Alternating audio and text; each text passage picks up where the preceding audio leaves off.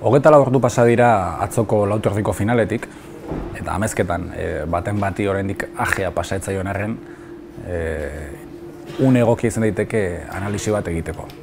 Bueno, lehenbizi, e, emozioz beteriko partida izan zela, ez, zalei asko gustatzen zaien partida horietako bat. Agian etzen joko bikainik egon, huts asko egon zirelako eta bidi finalistek urduritasuna nabaritu zutelako, baina emozio handia dagoenean askotan e, oreka hori e, jokoaren gainetik dago. Altuna izan zen txapeldun, ez ustekoa izan zen. E, apustuak doblean zeuden bere aurka, eta alare sekulako partida egin zuen. Zergatik irabazizun altunak. Nere ustez, batez ere bere jokoa inposatu zulako. Berari komenitzaion motxean jokatzea, airez, erritmo oso bizian eta urruti bere trampan sartu zuen. Hau da altunaren estiloa. Amalau tanto egin zituen eta bederatzi galdu bederatzi utxe eginda eta alare irabazi. Hori da altuna. Eta norbaitek altuna ikusteko segera bat horrentzen dunean hori ikusi nahi du. Eta urruti zer, e, urruti zeurazki txapelketako partidorik txarrena jokatu zuen. Lotuta ikusi genuen, hangande guztiok e, urrutik ez zuen finalekin gozatu. E, saiatu zen pelota gurutzatzen, baina ez zuen lortu. Indarka ibili zen, bere bura ondo aurkitu gabe. Oso ondo errestatu zuen, baina beste guztietan e, etzen ondo ibili eta hogeita banakoarekin kanpora botazun gainera.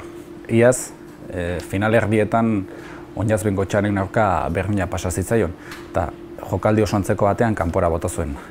Berak ez zuen arantza atera, baina altunak bai. Ez dezaguna aztu iaz berak galdu zuela finala hogeita bita hogeita bat, eta atzoko bai izan zela liberazio moduko bat beraren zat. Bat urte pasatxorekin, lautorriko txapeldun izan da honezkero. Historiako irugarren txapeldunik gazteena.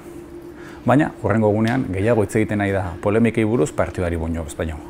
E, final batean, lau tanto oso polemiko egon ziren. Pelota partidu batean, normalen ez diren beste polemika egoten, baina atzokoan egon ziren. E, bai, e, urrutik e, luze egia atratako sake bat ontzat eman zuten, e, bi jokalditan bi finalistek e, elkarri egin zioten, beste pelotak bat egon zen altunari eman ziona ontzat eman zutena eta legediaren arabera buelta edo falta izan beharra zeukana.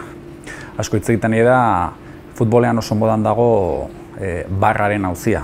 Alegia, epaileek, telebista kamerak erabilditzaketen alako, tanto, alako jokaldi ez da erabakiak hartzeko. Agian, pilotan, batez ere eliteko pilotan, eta ETBek dauzkan baliabideekin, bideo hori aztertzen hasteko e, garaia iritsi da. ETBek ahalbidaitzen du, baina bideo hori irekitzen baldin bada epaileek ere kontuan hartu behar dira. Epaileek gauza bakar askatzen dute. Kamara hori ez da lagun kantxa gainean, eta hori entzun behar zaie. Agian, aro berri bat hasiko da pilotan.